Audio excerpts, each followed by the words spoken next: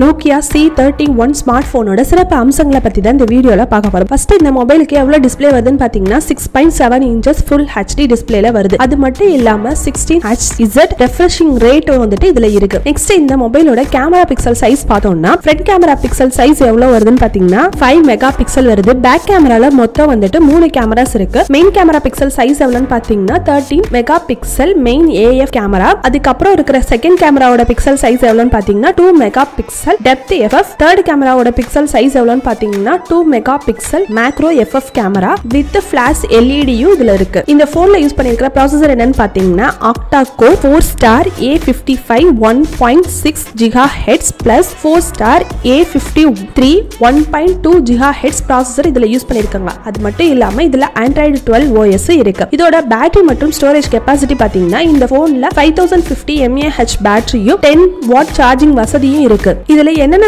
RAM storage வருதுன்னு பார்த்தீங்கன்னா three GB மற்றும் ஃபோர் ஜிபி ரேம் ஸ்டோரேஜ் வருது. ஸ்டோரேஜ் எவ்வளோ கொடுக்குறாங்கன்னா thirty two GB and sixty four GB ரெண்டு இதுலையுமே வந்துட்டு ஸ்டோரேஜ் வசதி வருது. இதில் என்னென்ன கலர் வேரியன்ட் இருக்குன்னு பார்த்தீங்கன்னா சார்கோல் மற்றும் மின்ட் அப்படின்ற ரெண்டு கலர்ஸ்லையுமே இது கிடைக்குது. அது மட்டும் இல்லாமல் three GB RAM thirty two GB storage இருக்கிற ஃபோனோட ப்ரைஸிங் எவ்வளோ ஸ்டார்ட் ஆகுதுன்னா nine thousand nine hundred and ninety நைன்லையும் four GB RAM sixty four GB ஸ்டோரேஜுக்கு வந்துட்டு ten thousand nine hundred and ninety நைன்லையும் கிடைக்குது.